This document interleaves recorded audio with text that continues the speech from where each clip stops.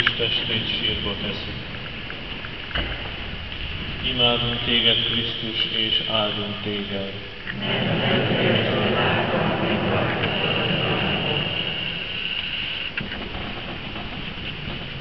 A sír kősziklába volt vájva, és amint ráfektették a kőlapra, feltűnt, hogy az arca milyen szép megint.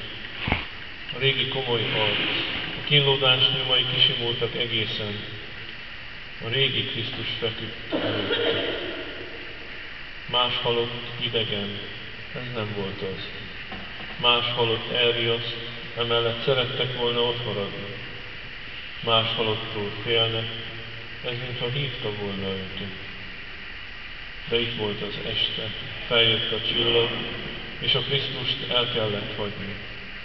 Végig kellett menni az úton, melyen pár órája még ő járt a fák közt, amelyeket még ma is látok, a kő mellett, amelyben elbotlott, és amelyen még ott volt a vére.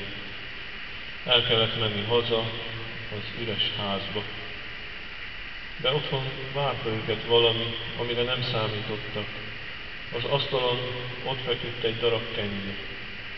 A halott Krisztus utolsó ajándéka, maradék a tegnapi vacsorából. A levegőben még ott csengtek a szavak. Ez az én testem, ez az én vérem. És lángolni kezdett a szívük. Megértették, hogy Krisztus valóban nem hagyta el őket. Eléjük jött, és már várta őket otthon. És amikor jött az éjszaka, az már nem a gyász, hanem a virrasztás éjszakája volt, és tudtak virrasztani egész éjszakán át, mert mellettük volt az Úr. Üdvözl légy, Mária! Kegyelemmel teljes, az Úr van veled, áldott vagy te asszonyok között, és áldott